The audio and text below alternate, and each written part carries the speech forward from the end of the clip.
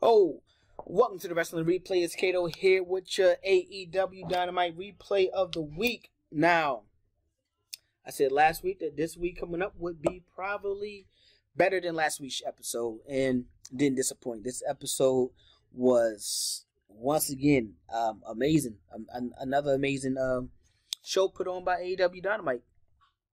Can't discriminate, can't hate. Um, but let's go ahead and jump right into it, guys. Now, the show kicks off with Brian Cage versus Hangman Page, right?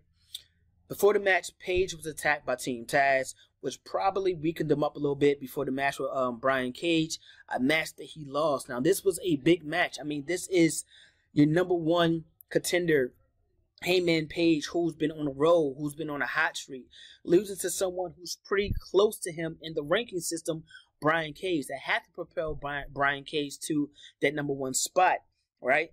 Now, I'm sure the attack had had um, had to do with um, the win had to do with the attack from Hangman Page prior to the match. Um, so we possibly should get a rematch between these two sometime in the future. I'm hoping. But I did notice backstage where uh, Taz was doing his interview talking about Christian Cage, which possibly could set up a match between Christian Cage and Brian Cage, where if he defeats him, if Christian Cage can defeat Brian Cage, that's going to propel Christian even higher up on the ranking system right now. He would have pretty much defeated the, the number one ranked guy. So where would that put him being a undefeated wrestler on the roster right now, defeating your number one guy? Um, even Taz has brought brought to the attention of everybody that, hey, Will Hobbs had you beat, and um, he pretty much just made one mistake and you capitalized on it. You being the veteran, you being the veteran, you capitalized on his mistake and managed to get the win.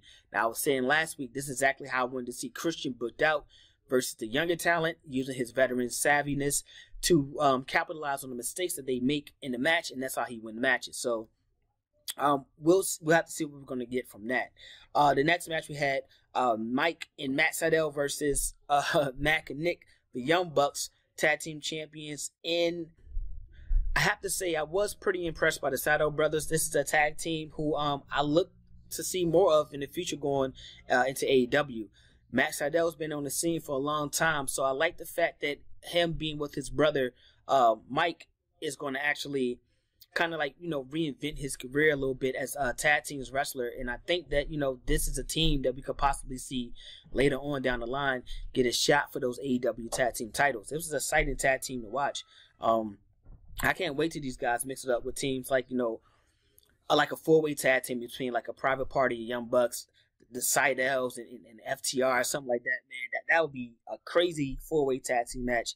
And with these guys having the tag team uh, talent that they do in their roster, the AEW that is, they're only going to put on you know better matchups and matches. So that's one leg up I think AEW has on um, a lot of promotions right now is their tag team wrestling and who they are. Now after the match, the Young Bucks did get the victory over the Sydal brothers.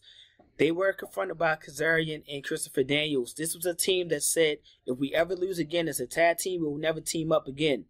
So it's going to be interesting with these guys being the number one contenders for the tag team titles if they beat the Young Bucks. If they beat the Young Bucks, okay, now we have two more guys that can actually possibly team up to help take on the elite, right? To help get people fair matches when they're going against the champion one on one. If they lose, we will see the split of Christopher Daniels and Kazarian. Now, we've been seeing these guys wrestle in single matches mostly anyway recently, but I mean, the fact that they will never ever be able to team up again, that's pretty big. We also got to see Orange Cassidy defeat Pentagon Jr. The feud between the best friends and the Death Triangle is still continuing. Um, Orange Cassidy did get a little help from Trent with the microphone he used to uh, put away Pentagon Jr. But this is one of the feuds I like. I like this feud. I, I like the match we're going to be able to get between Death Triangle and Best Friends, and he got a score to settle anyway. Now we also got to see uh, Kris Statlander, Statlander, she's finally back in action. She uh, defeated Penelope Ford in a singles match. She's looking good. She's looking healthy. I'm happy to have her back in that women's division. Now, after that, we did get to see the Factory versus members of the Nightmare Family, being uh, Lee Johnson, Dustin Rhodes, and Billy Gunn. They did not get the job done. Like I said before, I really like this feud. This is one of my favorite feuds going on right now in AEW, and um, I, I, gotta take my hats off to him, man. Like I didn't see the factory coming. This is one of the uh, factions that was put together that I really didn't, you know, have on my radar. But now that they're here, this is one of the best factions I think that's in AEW right now. They all look legit. They all look like they're hungry contenders, and they have a legit meaning for being together and, and doing what they're doing. Now, granted, they did get the get, get the victory by uh, Anthony Ogogo with those rib shots that he likes to deliver. Managed to help QT Marshall get the pin. But after the match, where things really picked up because we got to see the return of Cody Rhodes. That's right, Cody finally made his return. Came off the Nightmare bus and uh, him and the Gunn Club pretty much helped clean house. So that that was really exciting to see because now you know that we're gonna get Cody Rhodes. He's back in the fold. We got the whole Nightmare family back. The factory is fully healthy. Right now, we got a situation where the Pinnacle and the Circle they're having their match and having their feud. Once that's done and that's cleaned up and out the way, it makes perfect uh, room for the Factory and Nightmare family to do their thing. I, I think they should do some type of War Games type matchup. Cody has always said that he's wanted certain WW, WCW uh, pay per views and events back. I think uh, War Games, if they somehow could put a, a, a, little spin on it so it's not like the way NXT has it right now, maybe stack the cages up like WCW used to do, I think this would be the perfect match for these two factions to actually settle the score of what they need to settle. Once again, in the main event, we had Darby Allin defending his TNT title. This time he went against 10 of the Dark Order. Uh, 10 just wasn't enough. He wasn't enough for Darby Allin. Like I said before, I don't think anyone's going to be enough for Darby Allin in a single one on one matchup.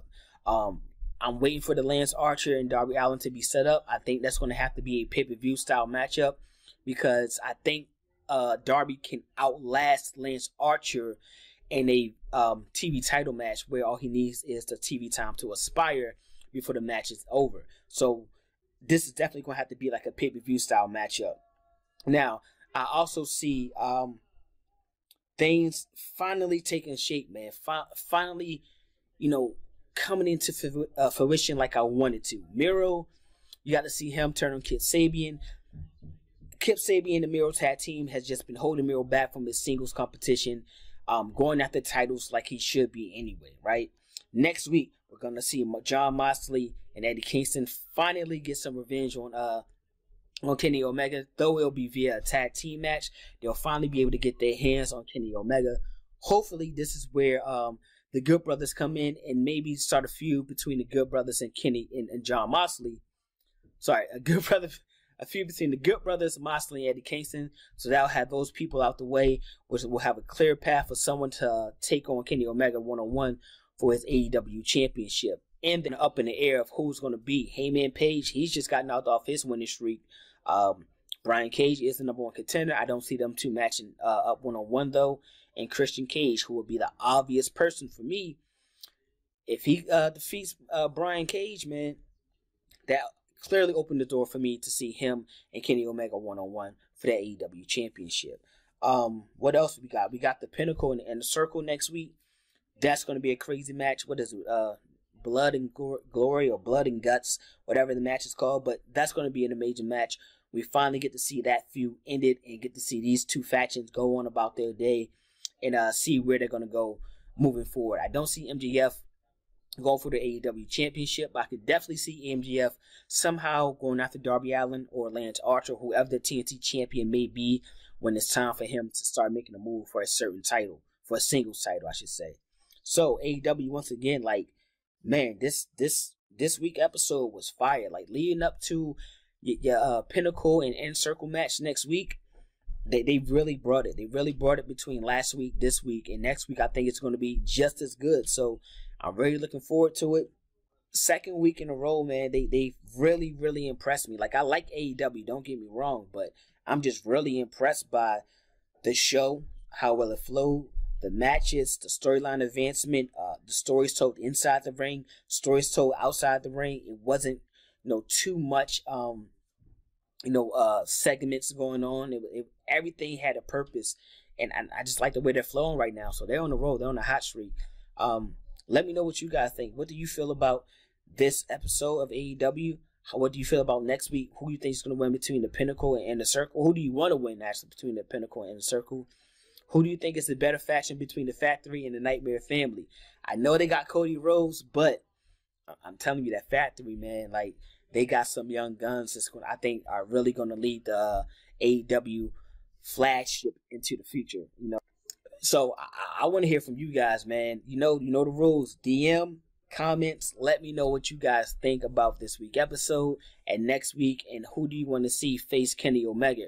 Brian Cage, Christian Cage, or Hangman Page? That that round. That's crazy. But Anyway, Kenny Omega got he he got to start defending that uh, AEW championship.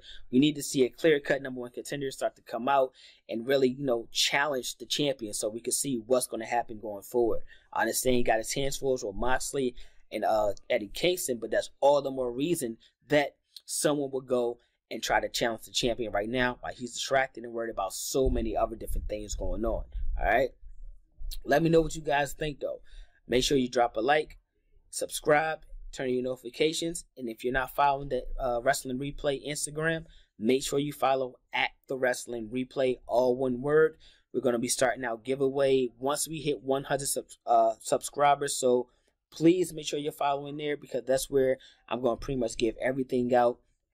Um, tell you what we're going to give away, and I'm going to tell you how to actually win that prize. All right. So that was your AEW Dynamite replay of the week. I have more posted in the description down below. I'm Kato, signing out. Peace.